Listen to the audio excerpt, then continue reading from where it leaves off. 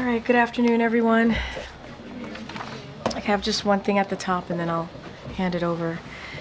So, today, as part of the White House initiative on women's health research, First Lady Jill Biden announced $110 million in awards from the Advanced Research Projects Agency for Health for Health, ARPA H, to accelerate transformative research and development in women's health care.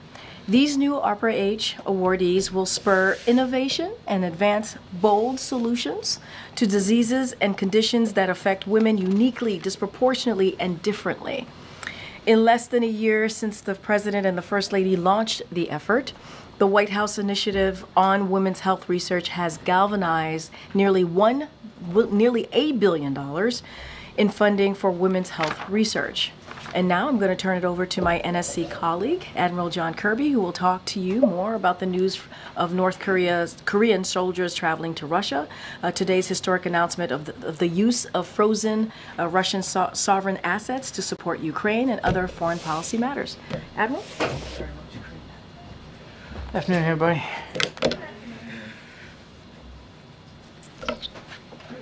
So, uh, just before uh, I, I kick off on those issues, uh, I do want to start by extending our thoughts to the victims of the horrible terrorist attack in Ankara, Turkey this morning. Uh, our prayers are with all of those affected and their families, and of course also the people of Turkey at this very difficult time. Now, Turkish authorities, as they said, are investigating this as a possible terrorist attack. And while we don't yet know the motive uh, or who is exactly behind it, we strong, strongly condemn this, uh, this act of violence. Now, I think, as you have all heard uh, earlier this morning, we have seen the public reporting indicating that North Korean soldiers are traveling to Russia to fight against Ukraine. We're working closely with our allies and partners to gain a full understanding of this situation, but today I'm prepared to share what we know at this stage. We assess that between early to mid October, North Korea moved at least 3,000 soldiers into eastern Russia. We assess that these soldiers traveled by ship from the Wonsan area in North Korea to Vladivostok, Russia. These soldiers then traveled onward to multiple Russian military training sites in eastern Russia, where they are currently undergoing training. We do not yet know whether these soldiers will en- enter into combat alongside the Russian military, but this is a certain, certainly a highly concerning probability. After completing training, these soldiers could travel to Western Russia and then engage in combat against the Ukrainian military. We have briefed the Ukrainian government on our understanding of this situation, and we're certainly consulting closely with other allies, partners, and countries in the region on the implications of such a dramatic move and on how we might respond. I expect to have more to share on all of that in the coming days. For the time being, we will continue to monitor this situation closely. But let's be clear. If North Korean soldiers do enter into combat, this development would demonstrate Russia's growing desperation in its war against Ukraine. Russia is suffering extraordinary casualties on the battlefield every single day, but President Putin appears intent on continuing this war. If Russia is indeed forced to turn to North Korea for manpower, this would be a sign of weakness, not strength, on the part of the Kremlin. It would also demonstrate an unprecedented level of direct military cooperation between Russia and North Korea, with security implications in Europe as well as the Indo Pacific. As we have said before, Russia's cooperation with the North Korean military is in violation of multiple UN Security Council resolutions which prohibit the procurement of arms from North Korea and military arms training. This move is likewise a violation. President Biden's direction, the United States continues to surge security assistance to Ukraine. In just the past week, which I think you've seen, the United States has announced more than $800 million in security assistance to meet Ukraine's urgent battlefield needs. Now, looking ahead, the United States is on track to provide Ukraine with hundreds of additional air defense interceptors, dozens of tactical air defense systems, additional artillery, significant quantities of ammunition, hundreds of armored personnel carriers and infantry fighting vehicles, and thousands of additional armored vehicles, all of which will help keep Ukraine effective on the battlefield. And in coming days, the United States will announce a significant sanctions tranche targeting the enablers of Russia's war in Ukraine located outside of Russia. The Ukrainian military continues to fight bravely and effectively, and President Biden is determined to provide Ukraine with the support that it needs to prevail. To that end, The president announced today that of the $50 billion that the G7 committed to loan Ukraine back in June, the United States will provide a loan of 20, mil, uh, $20 billion. The other 30 billion in loans will come from a combination of our G7 partners, including the European Union, the United Kingdom, Canada, and Japan. Now, this is unique. Never before has a multilateral coalition frozen the assets of an aggressor country and then harnessed the value of those assets to fund the defense of the aggrieved party, all while respecting the rule of law and maintaining solidarity. These loans will support the people of Ukraine as they defend and rebuild their country. And it's another example of how Mr. Putin's war of aggression has only unified and strengthened the resolve of G7 countries and our partners to defend shared values. Um, and yep, that's it. Thank you. Sorry. I had an extra page in there and I wasn't sure where it was going. So. Um, does the is the assessment that the presence of North Korean troops can have a meaningful trajectory um, on the, the war? Um, and then, secondly, you've said earlier even um, that it shows a sign of desperation on the Russians. But does it also demonstrate North Korea's commitment to this burgeoning alliance with Russia? And is, is that in and of itself of broadening and discouraging concern for America? So, on your first question, too soon to tell, uh, Aamer, uh, what kind of an impact these troops can have on the battlefield because we just don't know enough about um, what the intention is in terms of using them. Um, so, I, I think that's why I said the top we're going to monitor this and watch it closely. To your second question, yeah, absolutely. Uh, as we've also said, yes, I've called this a sign of desperation and a sign of weakness. And it's not like Mr. Putin's being very honest with the Russian people about what he's doing here. I mean, Mr. Peskov, his spokesman just the other day, dec- denied knowing anything about it. Um, but uh, but we've also talked many, many times about the burgeoning and growing defense relationship between North Korea and Russia and how uh, reckless and dangerous we think that is, not only for the people of Ukraine, and clearly we'll watch to see what this development means for them, but also for the Indo Pacific region. Thank you. Uh, With the U.S. diplomats in the region, uh, Mr. Hochstein in Lebanon and the Secretary of State in Saudi Arabia now before Israel, do you, be, do you believe there is a chance now for the ceasefire to be back on the table? And do you believe that with the demise of Mr. Sinwar and Hassan Nasrallah, you have better chances or worse chances for somebody to negotiate with? The ceasefire you're talking about, I'm assuming, is with Gaza.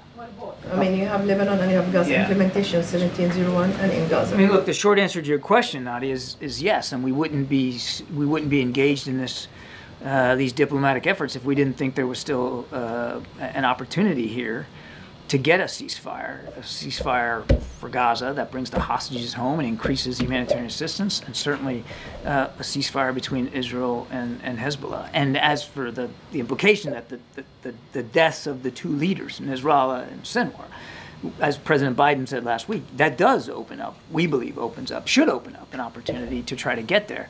But I don't want to sound too sanguine here. Uh, I'll let Secretary Blinken speak for his travels. He's still on the road. He talked about it a little bit today that you know they had good constructive conversations, specifically with respect to to Gaza while he was in Israel. But there's still a lot of work before us. Okay, and one more quickly. Uh, the number of civilians killed in Gaza was 779 in the last 20 days, especially in Jabalia. And the total number is 100,000 between the dead and the wounded. 90% of Gaza is destroyed. Does the U.S. still believe that Israel's strategy in Gaza is working? And do you still support it? We still support Israel's uh, right and responsibility to defend itself uh, against these threats, including the continued threat of Hamas.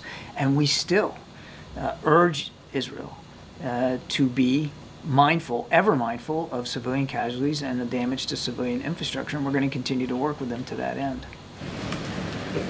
Has the U.S. made an assessment about the type of weapons training or what type of training the North Korean soldiers are undergoing in Russia that could potentially be used in Ukraine? And does this represent a new type of an, an agreement uh, in terms of an information sharing agreement between the North Koreans and the Russians? I don't believe we have a very specific assessment at this time uh, of the exact nature of all the training. There's there's uh, three sites that we assess right now that the this first tranche of about 3,000 are being trained. Um, I, I think I could go so far as to say that, at least in general terms, it's it's it's basic kind of combat training um, and familiarization. I think I'll go. I, I could go as as far as that and no further. But as I also said, we're going to monitor this and watch this closely. And uh, uh, obviously, if we have more information that we can share with you, we certainly will. Um, to your second question about information sharing, uh, as I've said before in answer to Aamer, we have been watching this relationship grow and deepen now for many, many months. And um, the, the question that we're asking ourselves, and we don't have an answer for right now, is what does Kim Jong Un think he's getting out of this? And, so you talked about information sharing. I mean, there, maybe that's part of this. Maybe it's technology. Maybe it's capabilities. Um, we, we don't have a good sense of that. But that's what's so concerning to us is, is not only the concern for the impact on the war in Ukraine, but the impact that this could have in the Indo-Pacific with Kim Jong Un benefiting uh, to some degree. Can you talk about that just briefly? Like, how significant is this for the U.S. allies in the region and the U.S. as a whole? It could be significant. Again, we don't know enough right now. Uh, so when you say region, I think you mean Indo-Pacific. Uh, Until we have a better sense of what the North Koreans at least believe they're getting out of this, um, as opposed to what they actually get, it's hard to know and to put a metric on exactly what the impact is in the Indo-Pacific. But it is concerning. It's been concerning. Certainly, this development, this this willingness of of Kim to literally put skin in the game here. Soldiers uh, in Russia for the potential deployment, and we haven't seen him deployed, but for the potential deployment, uh, certainly would connote an expectation that he thinks he's getting something out of this. Uh, You mentioned that the U.S. is discussing how we would possibly respond. What are the possibilities for how the U.S. could respond to this? Well, for one thing, we're going to continue to surge security assistance. Um, uh, as I just mentioned in my, my topper, uh, and you're going to continue to see, the president has made it clear uh, that we're going to continue to provide security assistance all the way up to the end of his administration for sure. So you're going to see that continue to flow, and we're talking to allies and partners about what the right next steps ought to be. I'm not at liberty today to go through any specific options, uh, but uh, but we're going to we're going to have those conversations, and, and we have been. And China is a critical trading partner to North Korea. What's the U.S. assessment for how China is looking at all of this? We don't know how President Xi and the Chinese are looking at this. One would think that um, uh, if you take their comments at face value about desiring stability and security uh, in the region, particularly on the Korean Peninsula, one would think that uh, they're also deeply concerned by this development. Um, but uh, you can expect that we'll be uh, uh, we'll be communicating with the with the Chinese um, about this, and um, certainly sharing our perspectives to the degree we can, and and gleaning theirs. And local South Korean press is reporting that according to intelligence, these troops, North Korean troops, lack understanding of modern warfare, such as drone attacks, and it's anticipated there will be a high number of casualties when deployed to the front lines. I, I, I- too soon to know. I mean, we, we don't really know uh, what they're going to be used for, where they're going to, if they're going to, if they're going to deploy, where they're going to deploy, and to what purpose. I can tell you one thing though: if they do deploy uh, to fight against Ukraine, they're fair game. They're fair targets, and the Ukrainian military. Uh, will defend themselves against North Korean soldiers the same way they're defending themselves against Russian soldiers. Um, and so the, the possibility that there could be dead and wounded North Korean soldiers fighting against Ukraine is, is absolutely real if they get deployed. Just to clarify something you said earlier about what Kim Jong-un possibly gets out of this, as far as you know, has he gotten anything in return? Well, I mean, from this particular move, I can't speak to that, MJ. I, I, I don't think we have seen any specific, uh, you know, quid, quid pro quo with respect to this provision of troops. But we know that that uh, he and Mr. Putin have again been growing in their defense relationship, and we know Mr. Putin has has been able to purchase North Korean artillery. He's been able to get North Korean ballistic missiles, which he has used uh, against Ukraine. Um, and in return, we have seen uh, some, at the very least, some technology sharing with North Korea. Um, but what this particular development means going forward, we just don't know. We're going to have to watch that. And do you know if this came about because Putin specifically first asked for help, or whether it's that Kim Jong Un offered the help first? Don't know. Don't don't know what precipitated it, but I think it's important to remember that in the three plus years that he's been fighting in in and around Ukraine, Mr. Putin and the uh, and his military has suffered 530,000 casualties, and as we're speaking today, he's losing casualties alone, not killed and wounded. Um, 1,200, 1,000 to 1,200 per day. Now, 530,000 is a lot. I mean, there were in the American Civil War, there were like 620,000 killed. Just to put this into some perspective, this is three years fighting in Ukraine. 530 casualties is, is a lot. And he hasn't been fully transparent with the Russian people about this. And he hasn't been transparent at all with the Russian people about this particular move about br- uh, bringing in North Korean soldiers. So that he has to farm out the fighting to a foreign country, I think speaks volumes um, about how much his military is suffering and, and how uncertain he believes, how untenable he believes his, his situation is. And I guess just if you had to guess, how would the training, what would the training even look like given the language barrier? And once these North Korean soldiers Yeah. are deployed, like what would the command structure? It's a great question. I, I wish we had an answer to it. You're, you're, you're not wrong to highlight the language barrier. I mean, these are these aren't even similar languages. Uh, they're, and uh, it, it- they're going to have to overcome that. It's not like they have uh, a long, productive history of working together as two militaries, uh, even at all.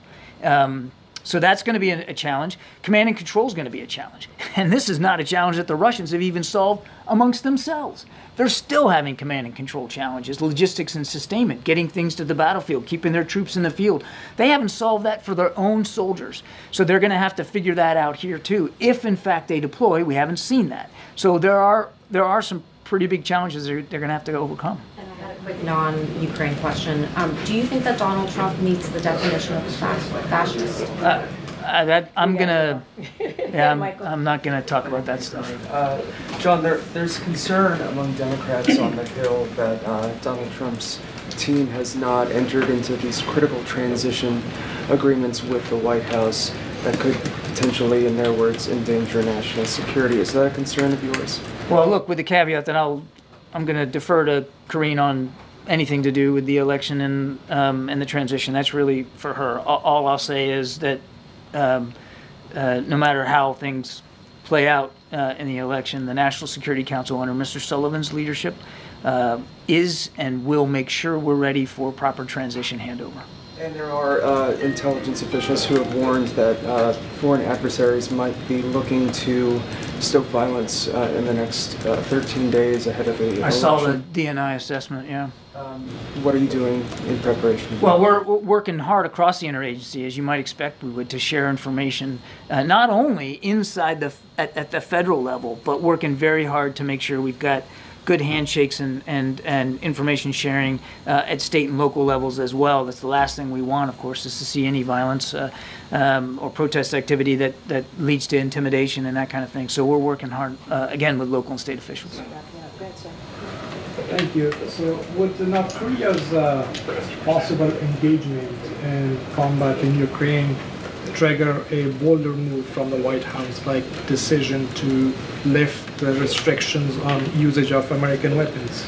Yeah, again, number one, we're monitoring this closely, um, and that's where we are right now. I came and gave you a very honest assessment of exactly where we are, and we just don't know um, if these troops are going to be deployed uh, against Ukraine in combat, and if so, where, when, and how. So, number one, we're monitoring this closely. I don't have any policy decisions or options to speak to today.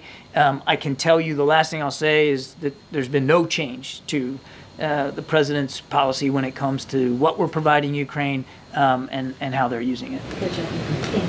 John, why not? Why not greenlight the long-range missiles uh, for Ukraine's use, which is Zelensky's number one ask, as you're sounding the alarm about what could have far-reaching implications if North Korean soldiers go into Ukraine. Well, for one thing, Jackie, we don't exactly know what these guys are going to do. What else could they be there for? We don't know what they're going to do. We don't know if they're going to deploy into combat or not.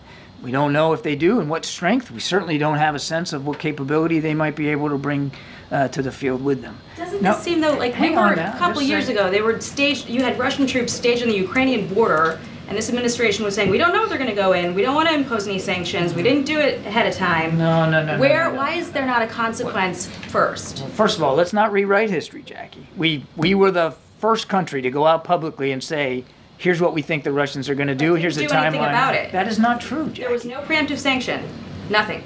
Jackie, that is not true. It's true we didn't levy sanctions originally because we were hoping that the threat of sanctions might deter or dissuade Mr. Putin. You lay sanctions on before the man makes a decision, then he might as well just go ahead and do it. And we and we did levy sanctions on him, heavy sanctions, not just us but around the world. Number two, we mobilized support for Ukraine even before Mr. Putin decided to step across that line. And no country, no country has done more than the United States to make sure Ukraine is ready. so why not uh, let's not to wait- wait, prevent Jack- this from happening? Jackie, let me finish the second question, and then we'll get your third one. So let's not rewrite history. The United States didn't sit idly by here. We've been Ukraine's staunchest and most prolific supporter in terms of security assistance. Um, and as for the policy decision, uh, the, the president remains, and we all remain, in uh, direct contact with our Ukrainian counterparts. We're talking to them about what, the, what they need. As I said, we've just announced $800 million more, and there'll be more coming in security assistance. I just don't have any policy changes to, Why- uh, to speak to you not, today. you put a restriction on the type of target that can be hit, rather than the distance from a border that obviously Russia doesn't recognize, and you've got training happening with North Korean troops, I would assume, on the types of military installations that would be fair game if that decision was made. Yeah, we'll see. We'll see. We'll see what the Russians and the North Koreans decide to do here. As I said earlier, if these North Korean soldiers decide to join the fight uh, against Ukraine, they will become legitimate military targets. Jackie, we gotta go. Yeah, thank you. Um, John, would you still describe the Israeli operation in Lebanon as targeted? I'm sorry. I- The Israeli strikes on Lebanon, would you still describe them as targeted? I- again, I'm not going to get into scorecarding each and every strike that the Israelis take. Uh, I'll just say a couple of things. They have a right to defend themselves. There are legitimate threats uh, that Hezbollah still poses to the Israeli people. I mean, rockets and missiles are still being fired at Israeli cities. Uh, so let's not forget what Hezbollah continues to be able to do. That's number one. Number two, we have said many, many times uh, that we don't support uh, daily, uh, you know, strikes uh, into heavily populated areas, and that remains the case today. We still pose, you know, daily strikes into densely populated areas. And we have had those conversations. Secretary Blinken has had that exact conversation when he was in Israel for the last couple of days. We'll continue to press the Israelis on that. Hi. Uh, So the interest from the frozen assets, does it apply only to the European Union or also the US assets? Uh, it is. um it's for all the frozen uh, assets. Also in the US? I, I, I believe so. I believe Because so. this morning I thought Daleep Singh said just European Union, so I wasn't sure. Okay, you know what? Let me take the question. When I, I, I can't even balance my checkbook at home. So. Okay, thank you. I wanted to ask about Kursk specifically with um, the North Korean troops in Russia. Russia and North Korea have this mutual security pact. If they were to use North Korean troops against Ukrainians in Kursk, would it be legitimate to try to reclaim sovereign territory, or would that be seen as an escalation in the war against Ukraine? Again, I don't want to get ahead of where we are right now and hypothesize what these troops may or may not be doing, and if the Russians are going to deploy them, where they're going to deploy them, whether it'll be inside Russia or inside Ukraine. Let me just please go back to what I said before. If these North Korean troops are employed against Ukraine, they will become legitimate military targets. Jane, you have the last one. Thank you very much. I had a lot of be patient. Well, you're about Thank- to jump out of your seat. Thank you, thank you, John. This, this seems like a fair day for uh, Janie. Uh, uh, the- On same, same topic on North Korea, the chairman of the House Intelligence Committee recently sent a letter to President Biden requesting a briefing regarding the seriousness of North Korea's troops deployment. And the neglect of the Korean Peninsula issue. What is the White House's response to this? Well, we'll respond. We'll respond as as appropriate to the chairman, and we won't do that from the podium here in the briefing room. We'll do it uh, appropriately with him and his staff. Uh, I'll just say, and hopefully, my being here today and the my statement at the top should reflect how seriously we're taking this issue and how closely we're going to monitor it. We recognize the potential danger here, and we're going to be talking to allies and partners, including the Ukrainians, about what the proper next steps are going to be. But as for our response to the chairman, I'll let that stand in legislative channels. Quick uh, one. Uh, your colleague said at the State Department briefing that the United States does not reflect other countries' uh, intelligence analyses. So what is your assessment of intelligence cooperation with allies? You know, at this- What, what did my colleague at the State Department say? Said that uh, at the briefing that the United States does not reflect other countries' intelligence analyses. About, about the North About Korean the North troops? Korean troops. I just shared with you that today's opening statement was a downgrade of U.S. intelligence of what what we're seeing, um, and I think uh, you can see similarities between what I said today and what our South Korean counterparts have, have said. Ukrainian intelligence has has released information very very similar, and again. We're, you know, today isn't the end of this conversation. It's, it's quite frankly the beginning of the conversation that we're going to be having with allies and partners, including through the intelligence community. Thank you so much, Admiral. Thank you. Go ahead, Toulouse. Thank you. Thank you. Give me one second. Let's let Toulouse take. I know he's been waiting patiently on the side sideline. Um, uh, we don't have much time because I have to be in the Oval in about 20 minutes. But go ahead. Can I ask you about the McDonald's outbreak, the E. coli outbreak? And this follows a couple of big ones that we've seen over the summer, including Boar's Head. I think there's another nationwide one. Um, is the president tracking this? And more importantly, how confident should Americans feel about the food supply right now? So what I would say is the administration's top priority. Its top priority is to make sure that Americans are safe, uh, and so we are uh, taking this very seriously. We're monitoring the situation. CDC, as it relates to McDonald's specifically, is working to determine the source of the outbreak. As we speak, as you asked me about the E. coli, E. coli uh, outbreak, and so what I would suggest is that families they need to and they must uh, follow the latest CDC uh, guidance. Obviously, we're aware. The president is is also aware. Um, and going back to this particular outbreak with McDonald's, I understand that the company has halted sales of product uh, to protect customers, and uh, CDC is certainly in touch with uh, with local authorities to to prevent infection. So look. We're always concerned when we hear these types of um, uh, these types of uh, situations, right? Uh, uh, outbreaks, and so and the president wants to make sure that the American people are safe. So uh, it is a is certainly a priority for us, and CDC is on top of this and looking into it. Just one more. Um, any reaction to Jill Stein asserting the U.S. and U.K. have uh, blocked peace agreement between Russia and Ukraine? I've not seen those reporting. I'm not going to respond to uh, a political candidate in for Well, this for this. it's it's a factual thing. I, It's, uh, I, I'm not even seeing the, the comments that Okay. you're mentioning to me, so I, I can't give you an honest response from here. So, go ahead, MJ. Um, Karine, what did the president mean when he said last night about Donald Trump, we gotta lock him up? So look, uh, and I- the president spoke to, about this very clearly uh, as well in his statement, and he and he said uh, he meant lock him out politically, politically uh, lock him out. That's what he said, and that's what we have to do. That was the part of his quote that he said last night while he was in, in New Hampshire. Look, let's not forget this is a president that has not never shied away from being very clear and laying down what is at stake uh, in this election. I'm going to be really mindful in not speaking about 2024 uh, election. Uh, that's just uh less than two weeks away. Uh, but this is just speaking to what the president said last night.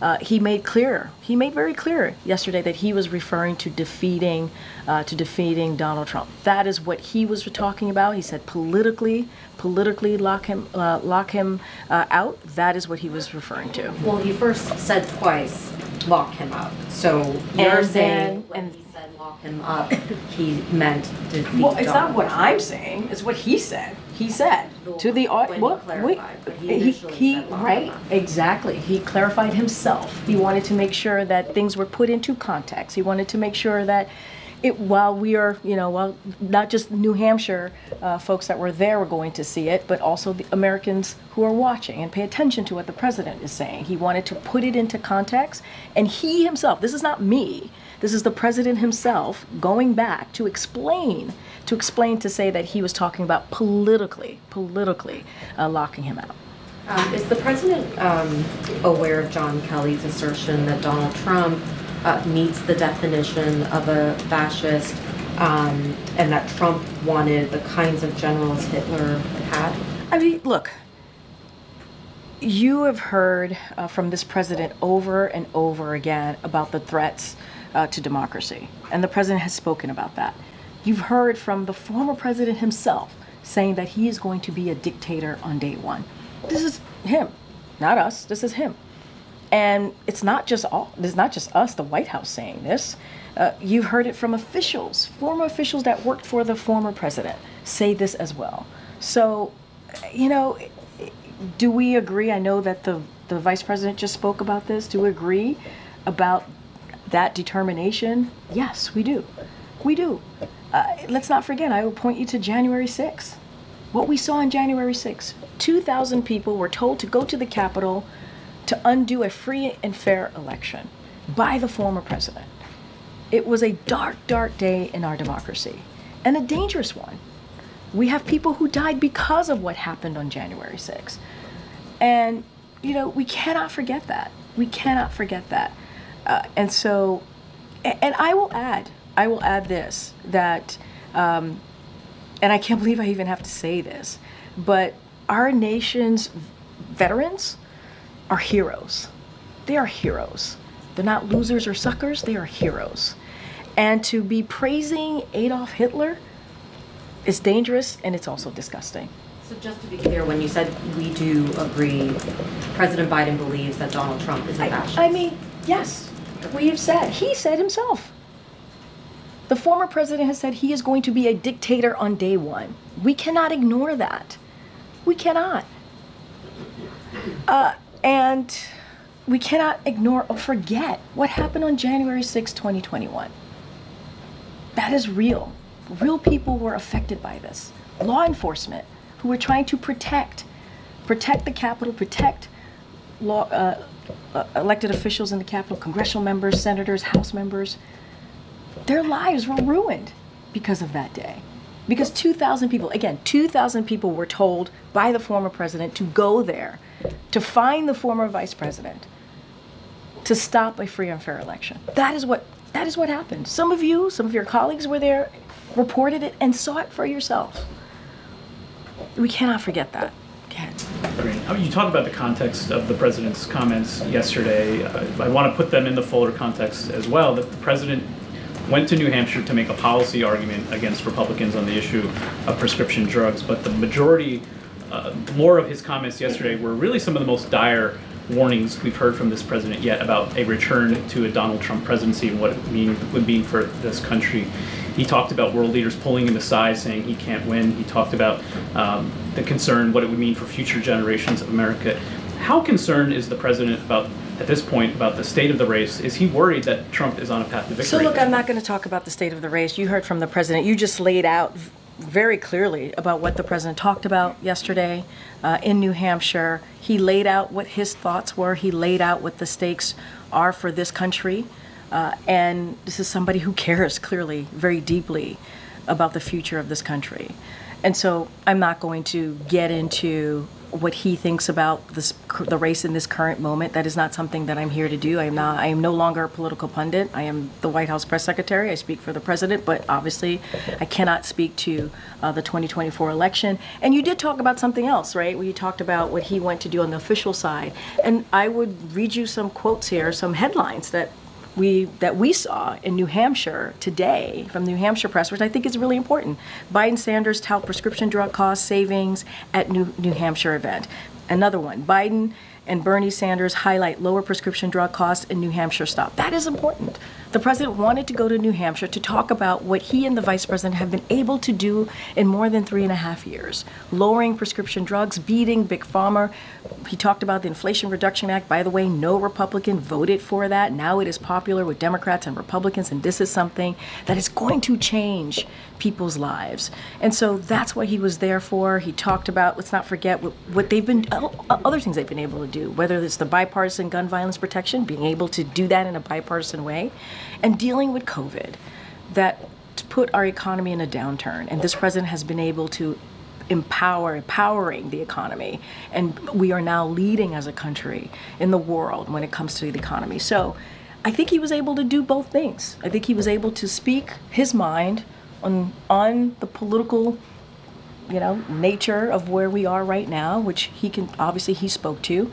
And i think people in new hampshire got a sense of what the president is trying to do on behalf of them in talking about lowering costs. We saw that in the New Hampshire papers. So it broke through, and I think that's important. You were with the president last week in Germany when he Yes. says he had these conversations with world leaders expressing their dire concern about the election here. What has been his response to those world leaders I, I'm not going to get into private diplomatic conversations, uh, and I will just leave it there. I think I'll ask you. We uh, NBC News is reporting that the vice president's likely to spend election night here in Washington, perhaps at her alma mater of Howard University.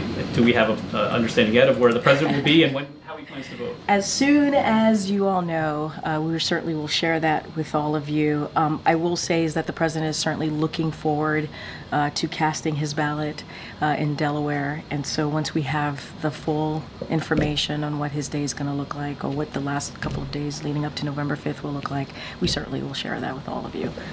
Since we're talking about scheduling, it is um, traditional for the president to hold a press conference. Oh, boy, I knew that was after- Can't stop, won't You stop. were you were you weren't here for the the, the, the drop by. Were you here for the drop by? Yes, I was. It was great. We'd love to see him again. Yeah. Um, so, the, and he, you know what? He had a really good time. He enjoyed he enjoyed it.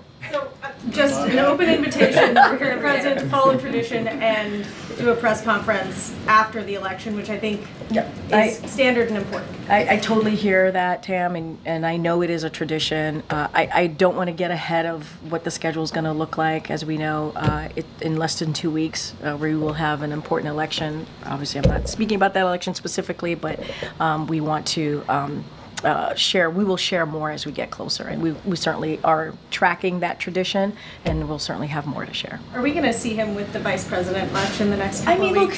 I, I know you all have asked this question of him. You've asked this question of me. They have, uh, as you know, campaigned together. They've done official events together uh, in the past just couple of weeks.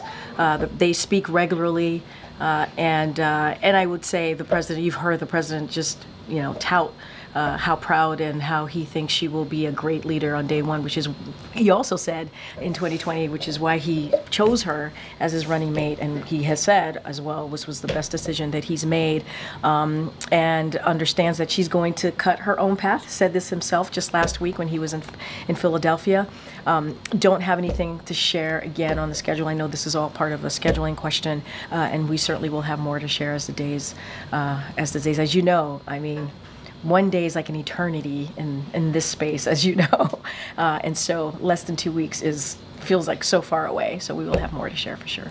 I just want to follow up on MJ's question. Yeah. So did the president actually read former Marine General Kelly's comments or listen to them? And did you, So- you know how he reacted So after look, so? I mean, look, I just gave a really good, I think, a good sense of um, the what the president has said uh, about our reaction here uh, from the White House. The president is aware uh, of John Kelly's comments, uh, and I gave your reaction as part of the as as the president's White House press secretary. And what I'm saying to you today is something that the president has said over and over and over again and repeated and let's not forget the words that we have heard from the former president and it matters here because we're talking about our democracy we're talking about what's at stake here with our democracy and uh, when you have a former president saying that they will be a dictator on day one that is something that we cannot forget and so um, you know the president has spoke spoken about this and given speeches on this, uh, and that's why I continue to point to January 6, 2020, 21, uh, 2021, because it was uh, it's something that we cannot forget. A dark day on our democracy, a dark day on our democracy because of what was, uh, what what occurred, what occurred. Was the president surprised by any of the comments from Kelly? No, not at all. I mean, again, the president has made comments and spoken about this over and over again. So, no, I will say no. Go ahead. Uh, thanks, Karine. Um, Elon Musk has been, you know, campaigning with former President Donald Trump, um, and he is offering one million dollars to voters. I just was wondering, um, has the president expressed any concern to, you know, this interference by Elon Musk? And uh, I don't know if, if he, you know, his the administration maybe has any plans or has discussed maybe how to sort of maybe move forward with what's what Elon Musk is doing with So on, on this particular uh, question, I'm going to have to refer you to the, the FEC. Uh, just have to be that one. I, I, that's a place that I'm going to have to refer you. I can't speak to it beyond that. But has the president mentioned it at all? He's Elon aware Musk, of or- it. He's aware of it. That I can tell you. I just can't speak to it beyond that. I have to refer you to the FEC. Okay, Jim. Talk, uh, and you've taken questions today, and obviously throughout the, the presidency, President Biden has talked a lot about democratic institutions. I'm just curious if between now and, and election day, the president's going to speak sort of more broadly about the um, confidence in, in the votes being counted accurately. Well, the president's talked talked about this. He believes in our institution. Uh, he believes in, in this will be a free and fair election. He's talked about this. We have to give the American people, who some of them are voting right now, to make sure that they have the confidence in their vote and how important it is uh, to cast their vote. I'm not going to go beyond that, uh, but uh, uh, I think the president has been very clear about that. But you don't, so we talk about schedules, there's nothing sort of Yeah. like a, a big sort Yeah. of, because he's done these types of addresses on, on issues like this before. So Yeah, I'm just curious I- if like this is a time that Oh, no, I, I hear you, and I I hear you're talking about the moment that we're in, and if the president's going to speak about it in a more formal way in, a, in remarks in a speech, I don't have anything to share with you. But he's been very clear uh, about having the confidence in our institutions, uh, and so I'll leave it there. Okay. Just want to ask you briefly about uh, congressional outreach uh, for the 10 billion that would be military aid. Has the White House started uh, that process, reaching out to members of Congress to get their buy-in uh, to kind of help expedite this process? I mean, we're in regular touch with uh, congressional members uh, about any type of initiative that we're trying to push through, especially if it involves uh, Congress, obviously. I don't have anything to, to read out to you at this time, uh, but we are in regular conversation about a, a myriad of things uh, when it comes to legislation, things that we're trying to push forward again. Uh, certainly, that is important to the American people. I just don't have anything to share at this time. Just a quick 2024 question. You said the president's going to vote. It's a scheduling question. Yeah. Will he vote You guys are early? very into Yeah, schedules we're- today. Yeah, I know, into, Early- the, into early POTUS voting. schedule. Early voting starts uh, in Delaware, obviously, uh, this week. And will he vote early before election I, day? I, I, as, as soon as we have something to share, uh, I will certainly share that. I, I I appreciate the effort here. Um, the president, I could say for sure, the president is looking forward to casting his ballot. Uh, and when we have more to share about his schedule, I mean, we're not, we're, the president can't not just go vote and not, t- for you guys not to know, right? So you guys follow him wherever he is, which is Thanks. good, which is a good thing. Go ahead. Thanks, Karine. Uh, The former president described the vice president as lazy as hell yesterday. Uh, She had a day when she was not on the campaign trail. Uh, I was going to give you an opportunity to respond to that. Uh, I would check the source, pay real close attention to who's saying that. That's all I'll say. Okay, another question about the vice president's interview with NBC. She talked, she was asked about whether there should be any concessions on the issue of abortion and the situation. Wait, say that one more time? She was asked whether or not there should be concessions on the issue of abortion, the scenario being a potential divided government like we have now, whether or not she would be willing to offer concessions, things like religious freedom on the issue of abortion. And I wanted to see Meaning like once she's in office? Yes. Oh, look, I'm not going to, I'm not going to get into hypotheticals. It's not, it- that is something that certainly, you know, when she be, when she is in office and becomes, pre- and all of the things happen, I'm not going to get into hy- hypotheticals. She's going to make her own decisions and decide what's best for the American people. I can't speak to that at this time, not going to get into hypotheticals. Uh, What you know and what you have seen from this president and this vice president is their commitment to continue to fight for women's rights uh, and continue to call on Congress uh, to, uh, uh, to, um, you know, to reinstate Roe v. Wade, uh, make sure that legislation is put out there, voted on, and so he would sign that, obviously, if that were to happen. Uh, And so that is what they, he, they both have asked for. That is what we've been saying during this administration. And she has been obviously a passionate uh, fighter on that issue, uh, understanding what this means to women, understanding what this means to people's rights and freedoms, uh, and so has this president. And so that's what we're going to continue to see. Uh, you just you just heard uh, us. I forget all the days. All the days come together recently. Talk about how we're expanding uh, in the ACA for contraception because understanding how that how important that is uh, to women and families or, or women and Americans who are trying to make decisions on their family or how to move forward, and they should have that right. Uh, and so, and that freedom. And so, again, that action shows you the commitment um, from the, and I hope the American people from the Biden Harris administration. What she's going to do next, how she's going to govern, that's not for me to say. Another question from the interview, she was asked whether or not sexism would come into play in this election. She said, I don't think of it that way. Obviously, the former president, uh, Barack Obama, said that he did believe that sexism was coming into play uh, in this election.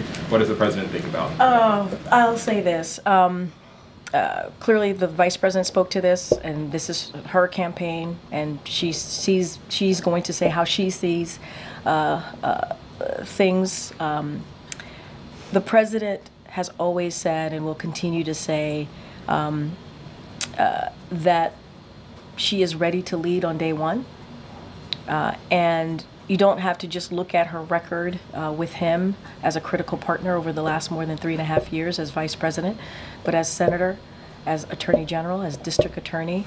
Uh, she is someone that has always fought for Americans, fought for people, whether it is citizens in California or more broadly, obviously.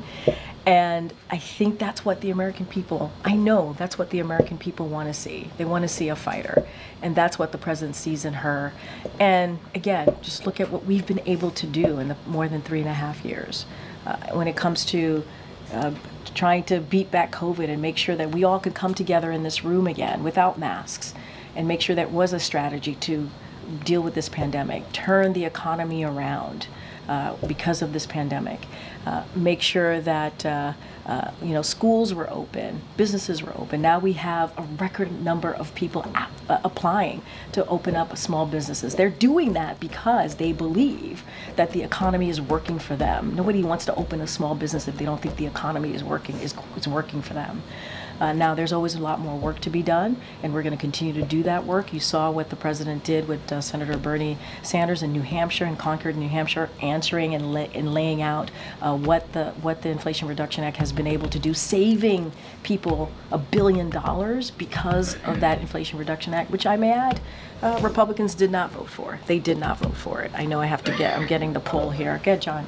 Thanks a lot, Karine. What's the level of concern that the administration has about election interference specifically from Russia? I mean, we spoke to that. We've laid out, we made a, an announcement on what we were seeing from Russia on election interference. We sent a very clear message uh, on that just a couple of weeks ago. So obviously, that is something that continues to be a concern. We will speak loud and clear about that, as we did just a couple of weeks ago. Uh, uh, but we also want Americans to know that to trust uh, the institution, and that's what the president is going to continue to say, uh, and uh, and and also continue to lay out the stakes, what's at stakes. Okay, thanks everybody. Hopefully, see you on the road.